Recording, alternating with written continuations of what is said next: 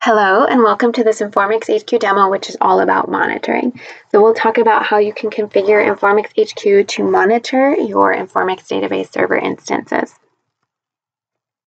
So monitoring in Informix HQ is done by the Informix HQ agent, which is just a lightweight Java program that's designed just to sit alongside your database server on the same host machine as the database server and to just collect data about the database server by querying sysmaster and also to collect data about the operating system on which your database server is running.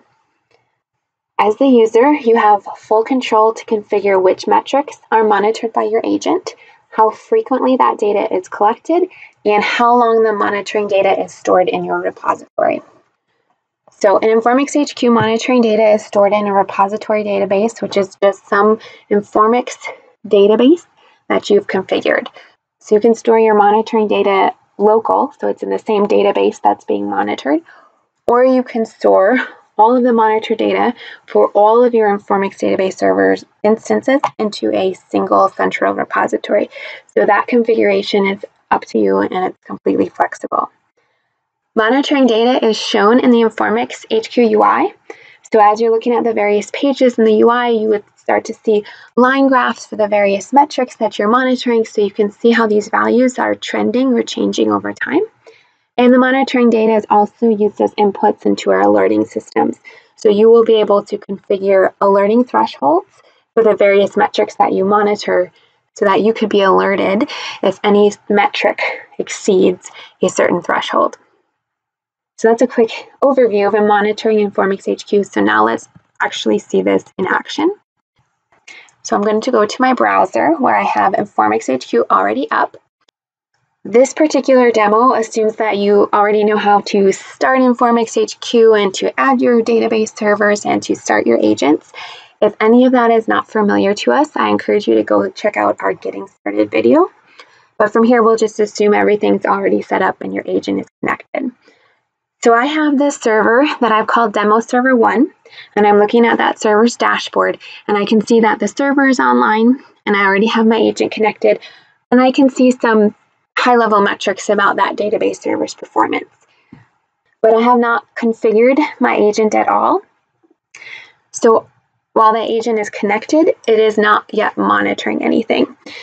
The only thing the agent monitors by default is the server status. So as soon as you connect the agent, it keeps track of the server status, whether it's online or offline, and it'll keep the Informix HQ server aware of the server status. But that is the only thing that the agent monitors by default. Everything else has to be defined in that server's monitoring profile. So that is what we're going to go ahead and do right now. So the monitoring profile can be found in the monitoring link on the menu. So if you click on that, as you can see, I have not configured monitoring for my database server. But you will notice that we have this notion of sensors for the database server and inherited sensors. And inherited sensors is sensors that this server inherits from its group. Informix HQ has the notion of groups, so you can manage many Informix database server instances at once. And to make that easier, we have allowed you to create monitoring profiles for your group. I want to quickly show you another way of getting there. If I start from my home page, you'll see I have a demo group with two servers. So if I click on that group, here are my two servers. Um, when I'm looking at this group, I now have a monitoring link. And if I click on it, I am looking here again at this group's monitoring profile. So let's add some sensors for this demo group. So to do that, I use this Add Sensor button, and you will see a list of sensors that Informix HQ provides. So you can read through these descriptions and choose what sensors you want Informix HQ to monitor on your database servers. For this demo, we'll pick a few. Let's monitor checkpoints, chunk writes, LRU writes, and let's scroll down. And we can also pick sequential scans and session statistics. So when I click Add Sensors, you can see that these five sensors that I chosen are now showing in my list. Um, each sensor has a run interval and a data retention interval. The run interval is how often that data is gathered by the agent, and the data retention interval is how long that data will be stored in the repository database before it's purged. If you want to change any of these intervals, you can click the edit button. So you can increase or decrease either the run interval or the data retention interval as you see fit. Once you are happy with your changes, you can click Save. Assuming you have your agent connected, as soon as you save changes to your monitoring profile, the Informix HQ server will send a message to any and all agents that are affected. So in this case, I have two agents in this group. So Informix HQ is going to send a message to both agents saying, here's the new monitoring profile, and those agents will start up monitoring these sensors um, at the specified run intervals. So if I navigate now to my demo one server,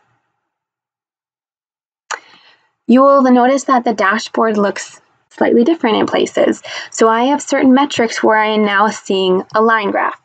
what's going on is I have sensors running, collecting these various metrics, and I am now seeing the history of these metrics over time. So if I scroll down, not only do I see a line graph for checkpoints, but also sequential scans and the number of sessions and session memory, since I had selected the session statistics sensor as well. You will notice that there is a live refresh of these line graphs. So as I sit here and look at the dashboard and the agent's collecting more data, I will get a live refresh. So I'm always seeing the latest agent data for all of my sensor metrics. So another thing that you may want to pay attention to is any page in Informix HQ where you see this triangle warning icon in the top corner, that is an indication that the page you are looking at in the UI has the ability to pull in sensor data that you haven't turned on. So if you click on that warning icon, it'll show a pop-up of what sensor data that this page could take advantage of if it's made available. So you can see the list of sensors that it would use if available. And there's a button to do a one-click enable of those sensors if you would like to. Or there's also a link directly to the monitoring page if you want to go do it yourself. So I'm going to just go ahead and click enable sensors now. So what Informix HQ server is it took that list of sensors that I didn't have enabled that this page uses and it just went and added them to the server's monitoring profile. So you notice that I now have a number of other graphs, cache hit rates and foreground writes. So those are, those are new and there's not a lot of data, but it's live refreshing the data as it comes in so I can start watching those metrics and if they're constant or variable. So let's go back to the monitoring profile page. So this time I'm looking at the monitoring profile page of the demo server one, which is in the demo group. And you'll see that I now have a number of sensors. So the five that I originally defined for the group are listed here as inherited sensors. So the server, demo server one, inherited these sensors from its group. But I now have this other set of sensors that was the ones where I clicked the enable sensor now button. So it had added those sensors to this server's monitoring profile. So this is just demonstrating that not only can you have all of your servers inherit their sensors from a group, but you can add individual sensors to servers as well. So this gives you the flexibility to manage monitoring for an entire group of servers, but also to override and customize some of those settings for particular servers if need be. So you can even further customize it by overriding certain sensors. So if I choose to override the checkpoint sensor, it'll add it to my server sensors list. And now I can override some of these properties and say, for this server, I actually want a more frequent data run interval for the sensor, or I could even disable certain sensors. So I could say for this sensor, let me disable the LRU writes sensor.